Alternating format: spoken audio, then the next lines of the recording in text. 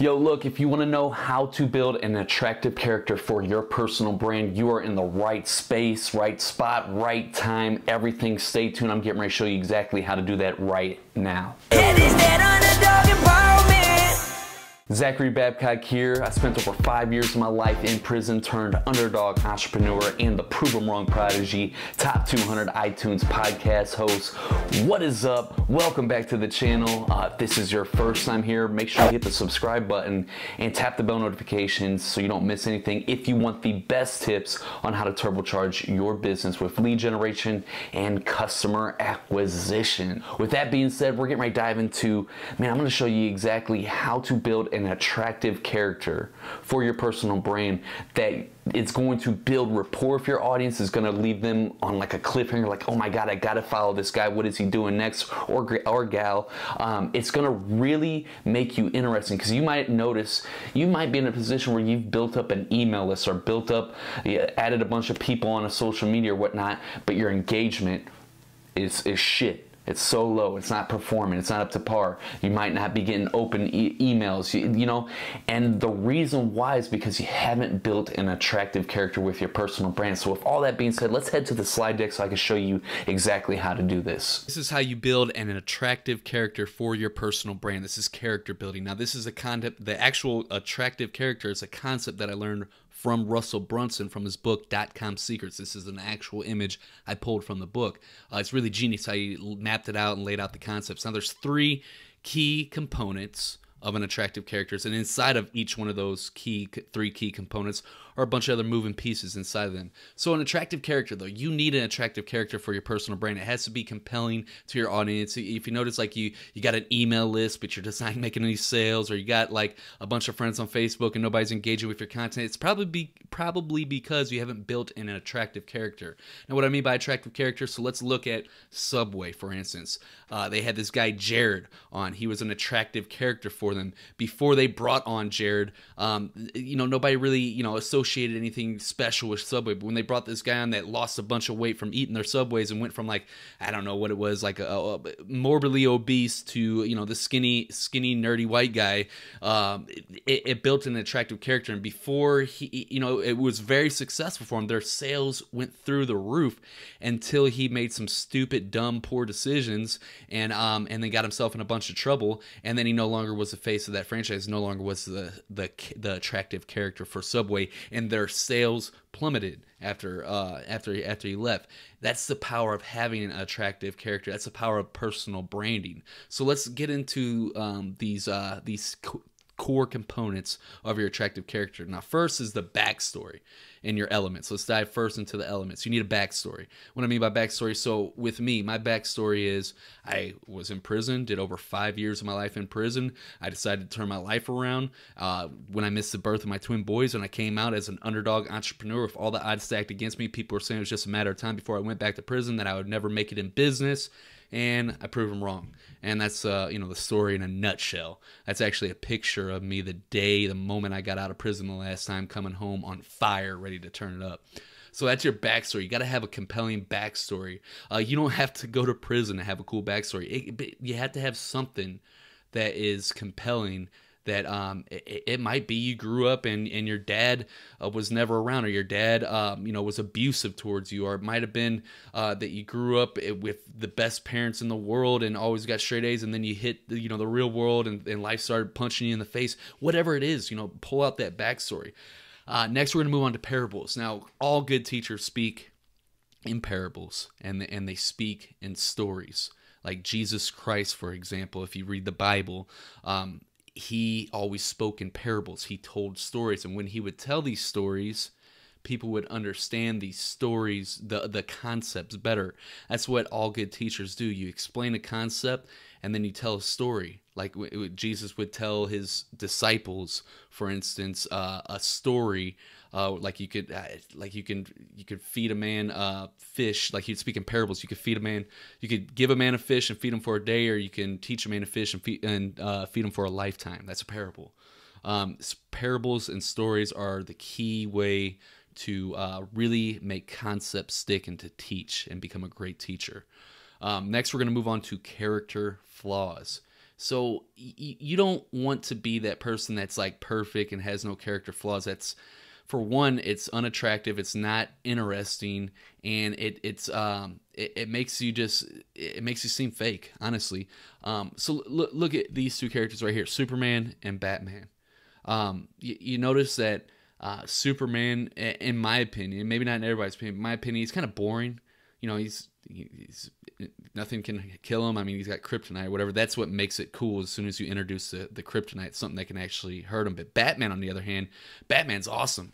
Batman, uh, the reason why is because he's a badass, but he he is immortal. He's human. He, he has a character flaw. He could be beat, and uh, that makes it more compelling.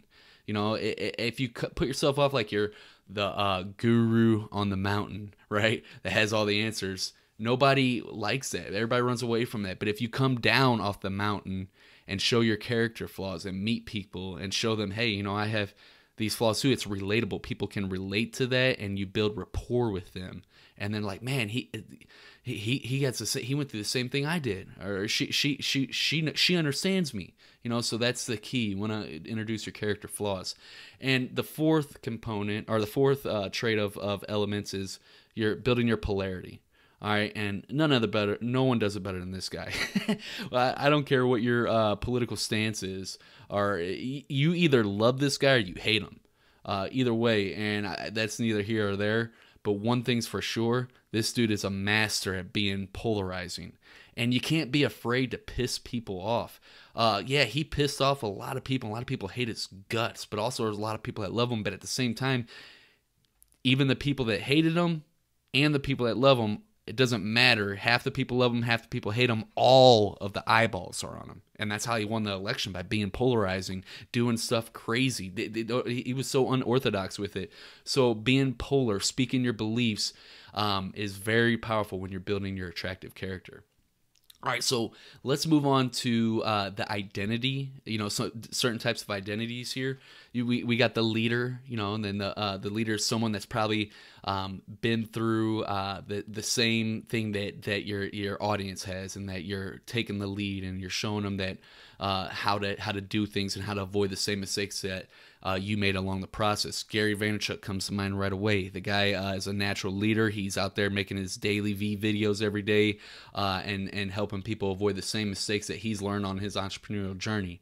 Um, that's a, a good identity to choose. That's also what I choose with my underdog brand identity.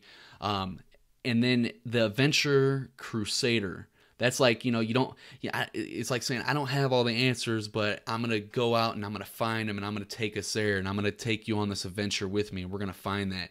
And a guy that reminds me of that is pat flynn with smart passive income podcast. He uh he he, he plays multiple roles but he he does a lot of that where he doesn't always have the answers but he does like case studies and, and goes and finds things out and shares it with his audience and updates his email list constantly. If you're not on his email list i'd uh, recommend getting on there. He's always dropping bombs on there. Um and then the reporter evangelist. Um, that's like this guy. You know, you're you're always interviewing these rock stars. You're you're placing yourself uh, as a reporter that you're g- gathering this information and sharing it with your audience and you're putting your face up to all these other rock stars in your industry and that positions you as a credible source of information and support. That's a really good role to play. I play that role myself as well as with my podcasts. I'm always interviewing rock star interview uh, people on, on my uh, interviewing rock star entrepreneurs on my podcast which positions me and my brand very well. Uh, it's a great way to, to go, especially when you're first starting out as the reporter and evangelist. And then you got the reluctant hero on the fourth one. Uh, the person that plays that perfectly is Russell Brunson, the guy that actually learned this uh, whole attractive character model from. It's more so of the, you know, I don't want to have the spotlight. I don't want to get out in their lead, but I, I feel called upon to do this, to share with my audience, to teach them and, and to guide them in the right way. So I'm going to step up and be the, the, um, the reluctant hero. Now, you can move to new identities as you progress through your career, or you can combine multiple ones at the same time. Like me, for instance, I currently combine the leader, number one, and the third, the reporter evangelist. And it works out amazing. I've also done the Adventure Crusader where when I was first starting out, when I didn't have any credibility or when I was like, hey, I don't have all the answers. I just came out of prison and stuff, you know, I don't have a trek record, but I'm going to go out and show the world that I'm not scared. I'm going to bring my audience of underdogs with me and show them. Uh, and I still play that role because I don't always have all the answers. You know what I'm saying? There's a, there's a character flaw right there that I'm showing you with. Uh, so yeah, you can combine these in in, in, you, in multiple ways, and you can move on to the next one at different phases of your career. You can always move it out, but you always want to have an identity in place. Um, that you know that you're presenting whenever you're uh, whenever you're making any type of your content or, or teaching your audience anything. Um, now let's move into the third and final component, which is storylines. So, so you have loss and redemption and that is um, you know like hey i like i use that story of loss and redemption where i share my story of i you know i went I had a, a, a good life growing up. Uh, you know, we grew up in Ferguson, Missouri.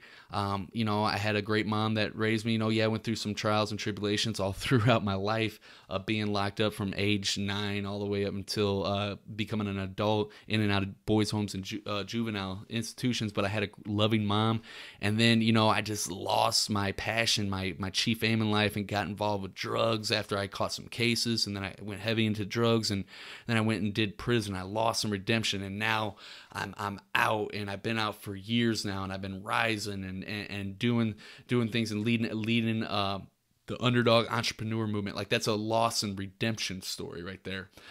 Then you have the us versus them, and I love using this. And how I use it is like for an example, you know, I'm speaking in parables here. Uh, the us versus them, like underdog entrepreneurs. You know, we we have all these dreams and this ambition and we're gritty and scrappy but we don't have all the resources. And we got all these people that are laughing at us for uh, for dreaming it for daring to dream big and for going out and trying to build our businesses. And we, it doesn't matter what they say. And they say that we, we can't have it because we're going to come and we're going to prove them wrong. Like that's a, good us versus them story.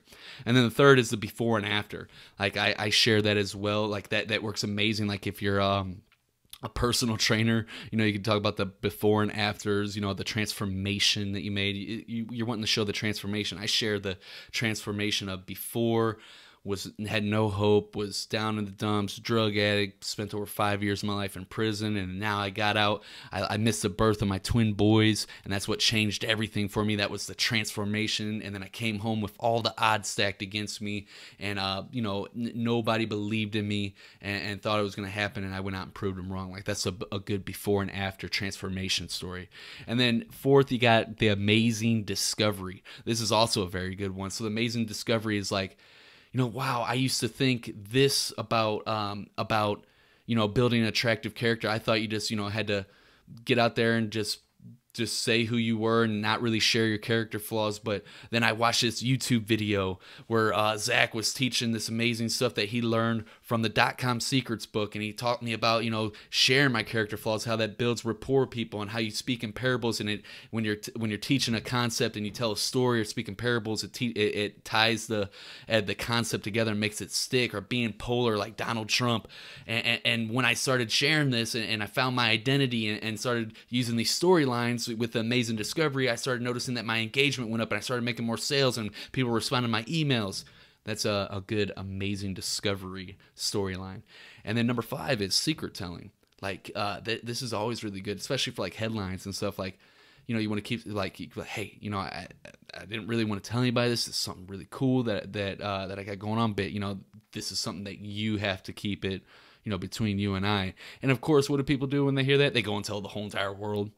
so it's also, uh, eh, they also, by telling them your secrets, so and stuff, you're letting them in, and people want to know your secrets. They, they they're curious, and and uh, they they're they feel um like they're part of uh, something special, like they're an exclusive group, and people like being a part of that stuff. That's a great marketing tactic that all a lot of businesses use uh, exclusive VIP, you know, special, you know, uh, all inclusive seats, you know, stuff like that. And then uh, the sixth and final storyline would be a third person testimonial. And this is one of the most powerful ones, uh, in my opinion, and many marketers would agree, is by using the actual testimonials that your customers and clients give you and tell you about. And then telling a story in the third person, talking about their transformation that they had with your product or service is amazing way to uh, really get people interested in what you have going on and really show proof, uh, social proof that what you have is of value. So that's how you build out the attractive character. All right. Now, let me know if that was helpful in the comments below. If, let me know what you, what was the biggest takeaway that you got from that on how to build an attractive character. And if it sucked, let me know. Let, tell me in the comments below why it sucked and what I could do to get better. Or just if you just want to be, just tell me it sucked. just let me know so I know I, I can get better in the future. Give me a thumbs up if you enjoyed this video, if it was valuable to you. And if it sucked, give me a thumbs down. I like to hear that as well, get that feedback. Um, and if you haven't already subscribed to this channel and you're looking for the best tips on how to turbocharge your business with lead generation and customer acquisition, make sure you hit the subscribe button and tap the bell notifications that way you don't miss anything. I'm gonna go for now, but until next time, you can check out some of these videos that I'm getting ready to throw at you right now. We put them hours in to bring them dollars in. This that underdog empowerment. We put them hours in to bring them dollars in. My name is Zachary Bell.